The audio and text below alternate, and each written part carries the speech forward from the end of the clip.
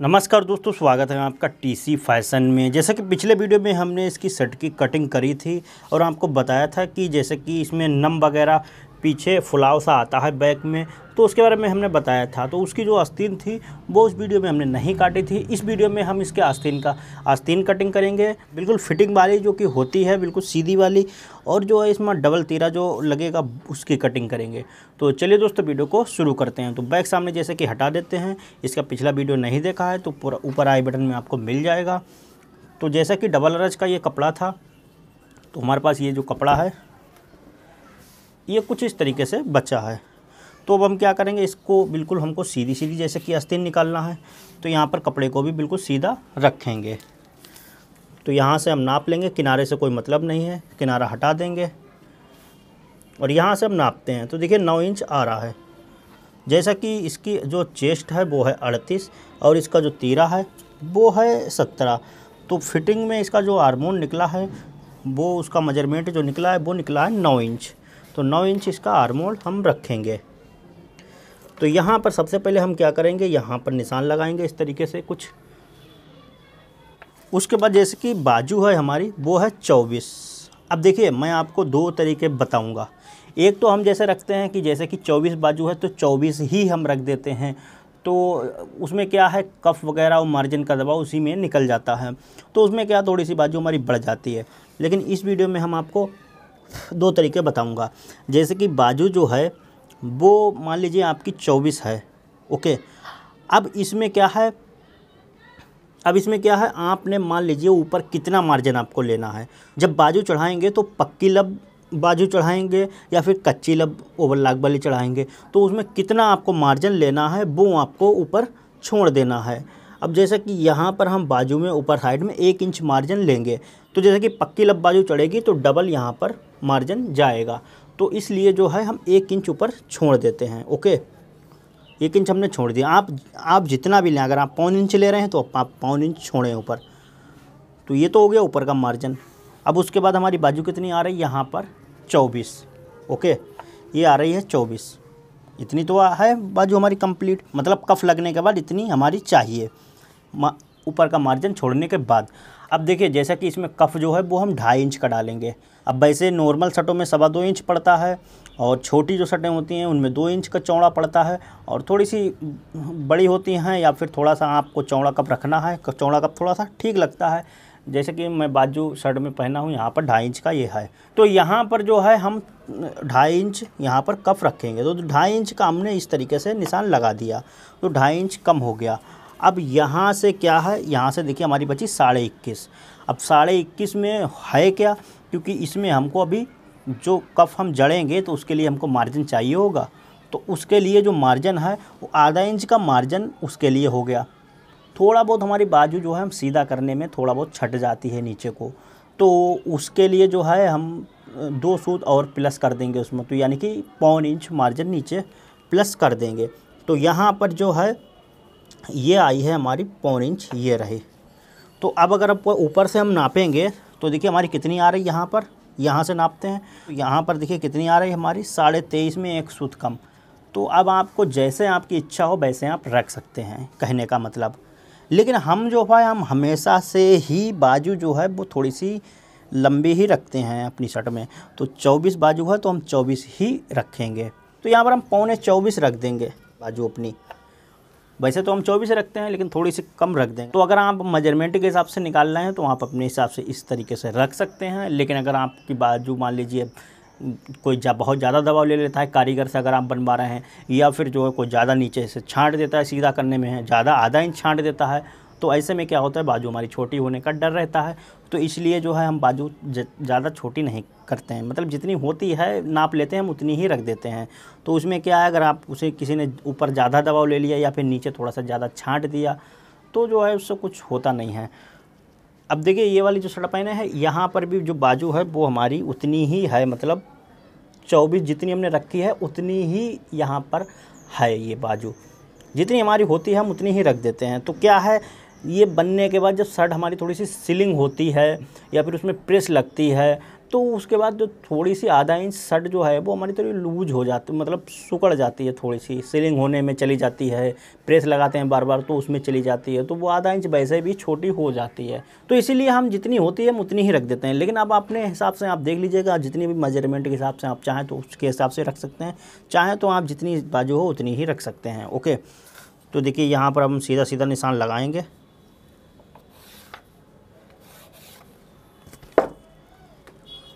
अब यहाँ पर बिल्कुल सीधी बाजू है तो हम यहाँ पर सीधा सीधा निशान लगा देंगे।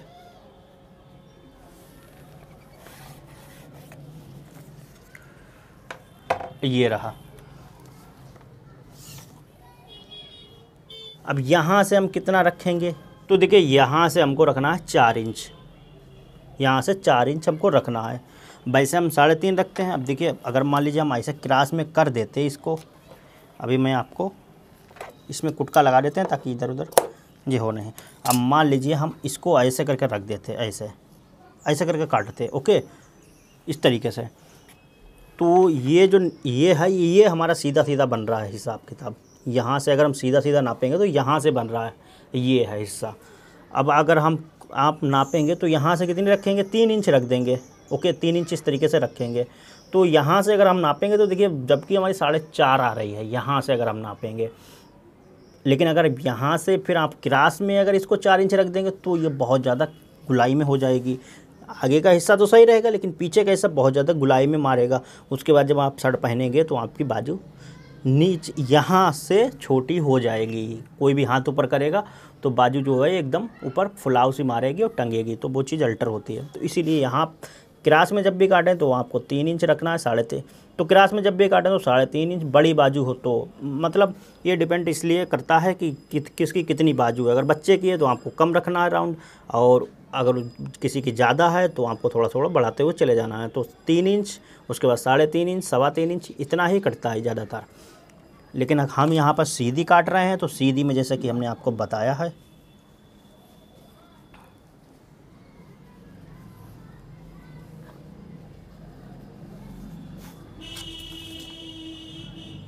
सीधी में जैसे कि हमने बताया, यहाँ पर हम चार इंच रखेंगे। अब यहाँ पर हम जो है, ऐसे आपको गुलाई दे देना, सिंपल सा और कुछ करने की ज़रूरत नहीं है।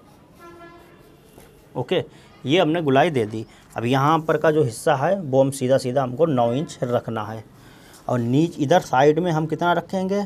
इधर साइड में हम रखेंगे फिटिंग की, जैसे कि शर्ट है तो यहाँ पर साढ़े पाँच इंच यहाँ पर रखेंगे। तो इसमें जो प्लेट आएगी, वो हल्की आएगी थोड़ी सी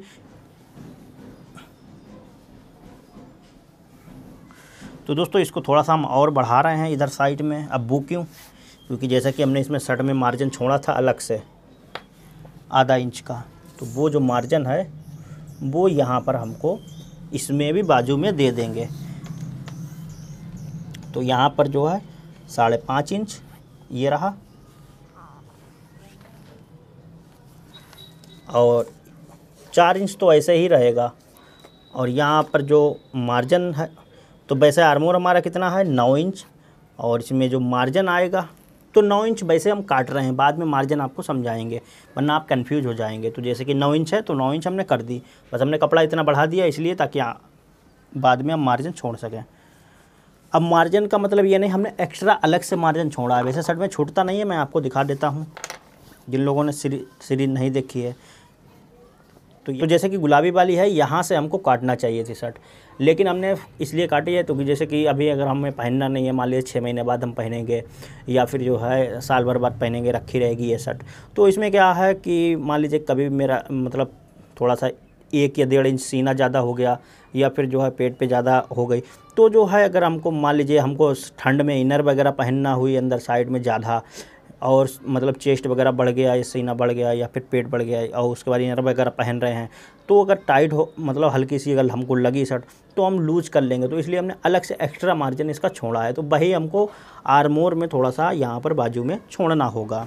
तभी तो हमारी अगर हम ढीली करेंगे तो पूरी हमारी यहाँ बाजू से सहित लूज होगी। वरना बाजू अगर हम उतनी ही रखेंगे फिक्स तो फिर तो मामला गड़बड़ हो जाएगा ना। तो अब देखिए, एक तो है ये हल्की वाली फंटी। ये रही। ओके, अब एक रही ये वाली फंटी। अब सवाल ये है कि आपको लगाना कौन सी है? तो देखिए, कोई सी भी फंटी लगाएँ, ये जो हिस्सा है, ये हिस्सा थोड़ा सा ज़्यादा रहना चाहिए, ये हिस्सा कम रहना चाहिए। ऐसे सेम में जाए, अगर आप इसको ऐसे करके लगा देंगे, ऐसे करके, ये रही पंटी तो क्या है? ये हिस्सा तो इतना ही है। ये सीधी सीधी यहाँ पर आ जाएगी, फिर ये गुलाई हुई है। तो यहाँ पर थोड़ी सी टाइट हो जाएगी ज़्यादा। तो हमको क्या करना है, हमको जो है, हमको थोड़ा सा ऐसे करके हमको लेना चल तो हमको क्या करना, इस तरीके से थोड़ा सा रखना होता है, ऐसे। इसको थोड़ा सा हम, वैसे तो ये बहुत ज़्यादा राउंड बनेगा यहाँ पर तो हमको यहाँ पर थोड़ा सा, ऐसे में रखना है, क्रास में। तो यहाँ पर जो है हम थोड़ा सा फंटी को ऊपर बढ़ा देंगे और इस तरीके से ये आ जाएगी।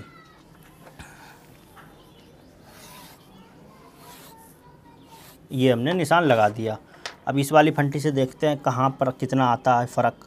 तो देखिए, इतना फ़र्क आया हमारा, लगभग आधा इंच का। और सीधी सीधी की बात करें तो सीधी सीधी में देखिए कितना आएगा, लगभग यहाँ से जो है, एक इंच में एक सूत कम, इतना फ़र्क आ रहा है। तो ये वाली जब साइड में जब भी फंटी लगाएँ तो ये नीचे देखिए हमने कितना ज़्यादा कितना उतारा है। और ये इस तरीके से। मतलब लगभग जो है हमने पाँच इंच नीचे उतार दी फंटी और इधर साइड में साढ़े पाँच इंच उतार दी। उसके बाद जो है हमने इस तरीके से लगाया है। तो आप ज़्यादातर ऊपर ना करें, ज़्यादातर नीचे ही रखें अगर ज़्यादा राउंड वाली फंटी लगा रहे हैं और किसी की हल्की फिटिंग में है शर्ट मतलब ना ज़्यादा फिटिंग में है, ना ज़्यादा लूज है और फंटी आप लगा रहे हैं किसी के आस्तीन में तो ये हल्की वाली फंटी है, ये आप यहाँ से लगा सकते हैं। इससे क्या होगा, आप देखिए आधा इंच हमारी और अगर हम ये वाली फंटी लगाएँगे तो आधा इंच हमारी बाजू लूज हो जाएगी। तो अगर जैसे कि हमको जो फिटिंग में शर्ट है, अगर हम कारी ये थोड़ी सी हल्की सी लूज में होती मतलब ना ज़्यादा फिटिंग में, ना ज़्यादा लूज में मीडियम में, और हमको फंटी लगाना होती तो यहाँ पर हम ये हल्की वाली फंटी ही लगाते हैं।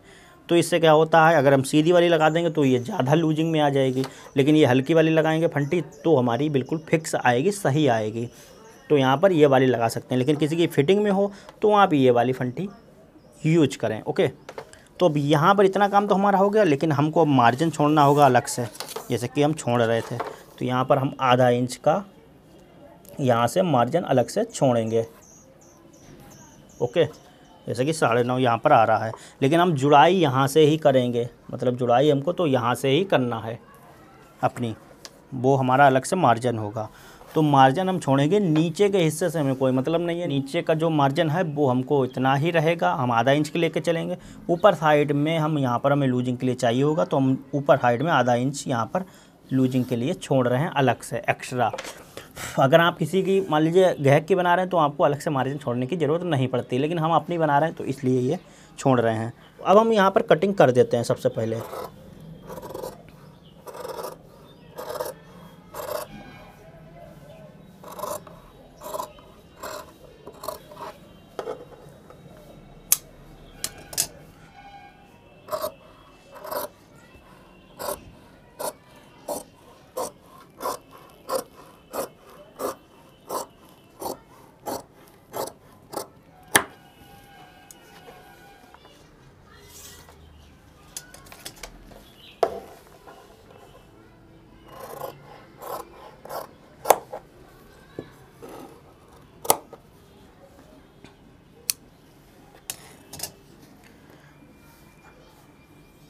अब इसमें ये सिस्टम नहीं है कि बैक कौन सी है, इसमें सामना कौन सा है। आप कोई सा भी इसमें यूज़ कर सकते हैं। तो यहाँ पर क्या करेंगे? अब देखिए, यहाँ पर कुट काम लगा लेते हैं हमको इतना ही। यहाँ से ही जोड़ना है। देखिए, यहाँ पर हम काटेंगे अपना। इस तरीके से सीधा सीधा रखेंगे। जो चाक पट्टी है, वो काटेंगे। यहाँ पर कुटका लगाया।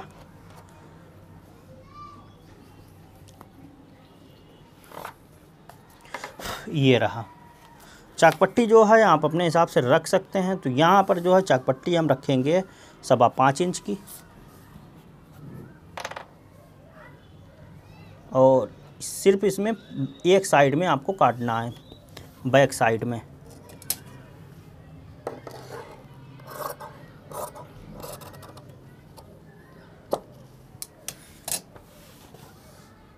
ये हमारी इधर साइड में चाक पट्टी कट गई। अब इधर साइड में हम ताल काटेंगे।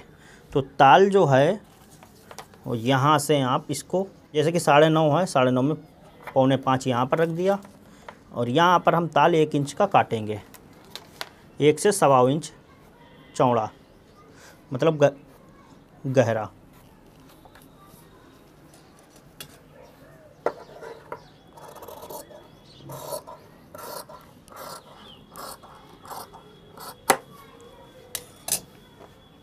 तो ये हमारी बाजू कुछ इस तरीके से कटी है।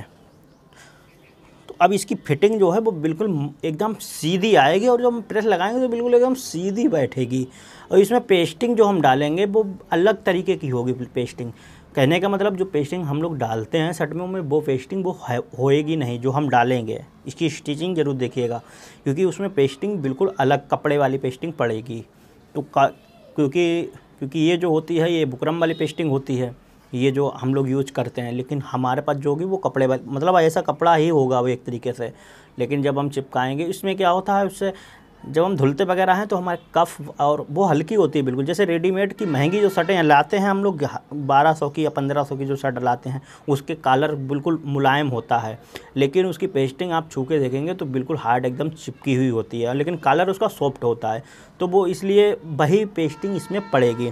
तो इससे फ़ायदा क्या होगा कि एक तो कलर हमारा बहुत ज़्यादा कड़क नहीं होगा। दूसरी चीज़ क्या होगी कि अगर धुलते समय हम ब्रुश वगैरह घर में चलाते हैं लोग तो उससे क्या होता है कॉलर और कफ हमारे कटेंगे नहीं जल्दी, क्योंकि क्योंकि क्योंकि कॉटन शर्ट है, वो जल्दी, बहुत जल्दी कॉलर कफ उसके कट जाते हैं। तो ये प्रॉब्लम आती है। तो उसमें जो है, बहुत ही सही रहेगा। तो वो वाली मुझे ठीक लगी तो मैं वही पेस्टिंग डालूँगा।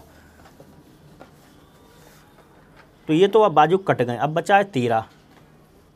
तो जैसे कि ये है हमारे पास कपड़ा तो यहाँ पर देखिए, सबसे पहले जो खड़ा कपड़ा होता है, देखिए, ये तो बेड़ा कपड़ा है, ये खड़ा कपड़ा है, किनारा वाला जो होता है वो खड़ा कपड़ा तो खड़ा कपड़े में ही हमारा तीरा की लंबाई होती है मतलब जो लंबाई का मतलब ये होता है कि दूसरे मुड्डे से लेके दूसरे मुड्डे तक की वो लंबाई बोली जाती है तो वो लंबाई होती है तो वो तीरे की लंबाई होती है तो तीरा हमारा खड़ा पड़ता है।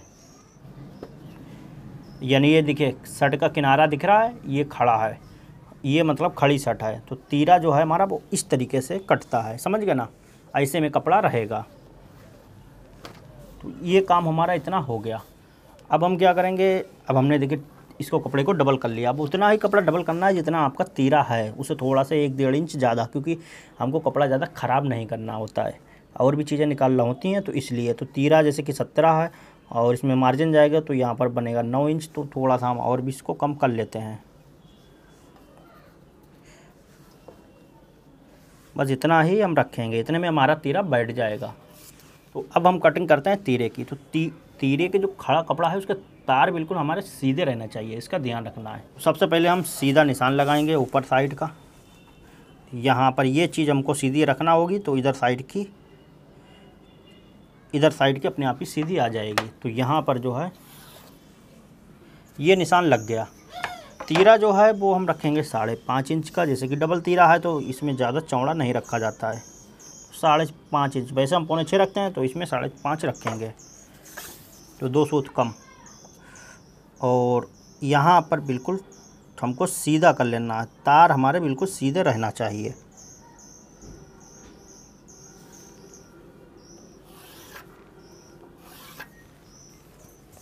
ओके तो अब हम क्या करेंगे?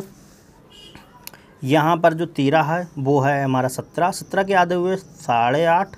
साढ़े आठ में हमको क्या करना है? साढ़े आठ यहाँ पर रखना है और इसमें आधा इंच का हमारा जो मार्जिन जाएगा साइड में दबेगा वो। तो यहाँ पर हमने नौ रख दिया। उसके बाद आपको बॉक्स टाइप का बना लेना है।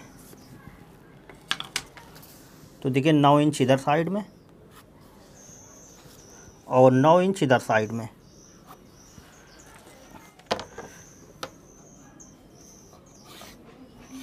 ये हमारा कपड़ा सीधा हो गया बिल्कुल। कलर हमारा कितना था? साढ़े पंद्रह। साढ़े पंद्रह का पाँचवा भाग हम रखेंगे तो तीन पंजे पंद्रह। तीन इंच आधा सूत। और हमने आगे का सामना में कितना रखा था चौड़ाई?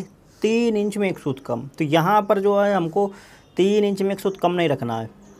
हमको पूरा का पूरा अपना जितना है उतना ही रखना है। तीन इंच आधा सूत है तो हम उतना ही रखेंगे। ताकि पीछे की जो बैक है वो हमारी पहनने पे फंसे नहीं यहाँ पर। कलर बिल्कुल एकदम फिक्स आना चाहिए। गले में। तो इसलिए आगे का जो हाला होता है, उसको हम छाँट के बराबर थोड़ा बहुत कर सकते हैं, लेकिन पीछे का जितना कटा होता है, उतना ही होता है। हमको पीछे छाँटा छोटी नहीं करना होती है। तो इसलिए जो है, हमने तीन इंच आधा सूत यहाँ पर रख दिया। अब यहाँ पर जो कंधी हमने गिराई थी, वो गिराई थी पौने दो इंच की। तो यहाँ पर जो है, इधर साइड में पौने दो इंच, इधर साइड में पौने दो इंच, ये रहा। इसको जस्ट सीधा निशान हमको लगा लेना है। अब हम क्या करेंगे? जितनी कंधी हम और उसके बाद जो है यहाँ से यहाँ तक क्रास में हमको लेना है। जो सामने की जो कंधी है, अभी मैं आपको दिखाता हूँ। बहुत से लोग कंफ्यूज रहते हैं इस चीज़ से तो वो भी मैं आपको बता दूँगा।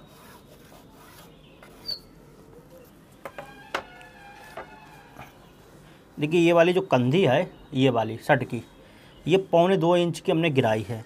तो जितनी आप इधर साइड की कंधी गिराएँ अगर आपने दो इंच की गिराई है यहाँ पर तो आपको दो इंच पीछे तीरा भी गिराना होगा।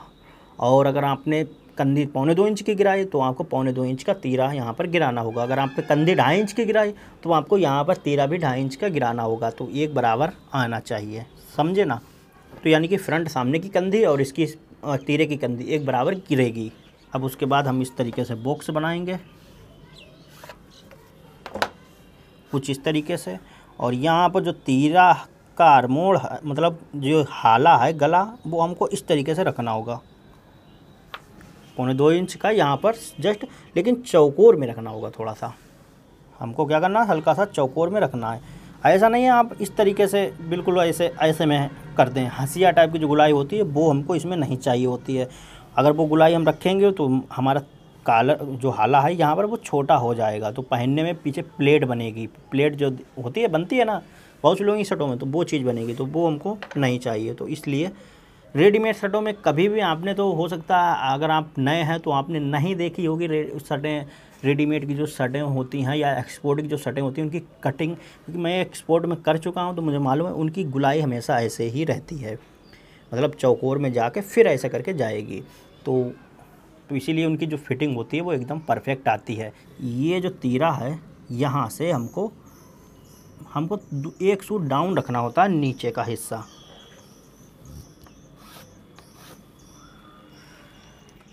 तो यहाँ से अगर नापेंगे तो नौ इंच में एक सूत कम, यहाँ पर नापेंगे तो नौ इंच एक सूत यहाँ पर नापेंगे तो नौ इंच हमारा पूरा। तो इस तरीके से हमको इसको हल्का सा राउंड में रखना होता है।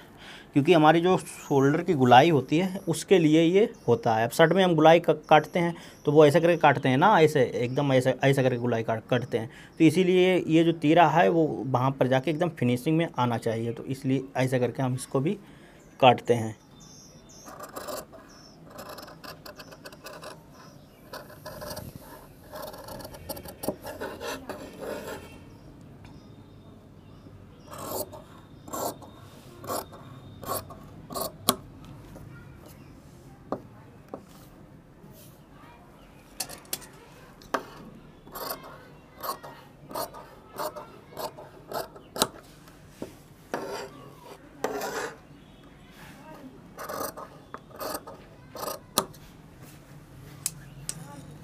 अब देखिए अब देखिए, ये जो है बीच में कितना है हमारा? नौ इंच है। इधर साइड में कितना है? नौ इंच में एक सूत कम। यहाँ पर। इधर साइड में नापेंगे तो नौ इंच एक सूत। तो एक एक सूत का सिर्फ़ फ़र्क रखना है। और ये तीरा जो है, इसकी जो गुलाई है, उसको सेट करते हैं थोड़ा सा।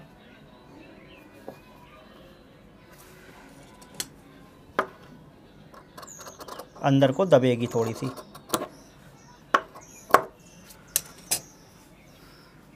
अब ये सही है।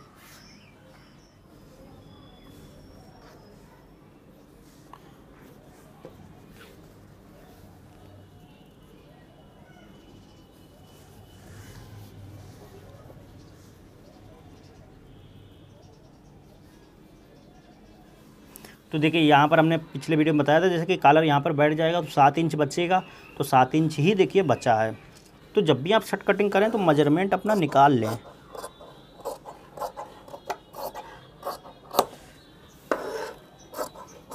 अब ये डबल तेरह हो गया, बाकी का खर्चा सब कुछ हो गया। अब जो है नेक्स्ट वीडियो में हम इसकी स्टिचिंग करेंगे।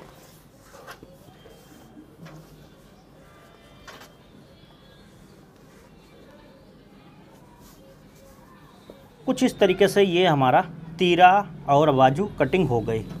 तो दोस्तों, उम्मीद करता हूँ ये वीडियो आपको अच्छा लगा होगा, समझ में आया होगा।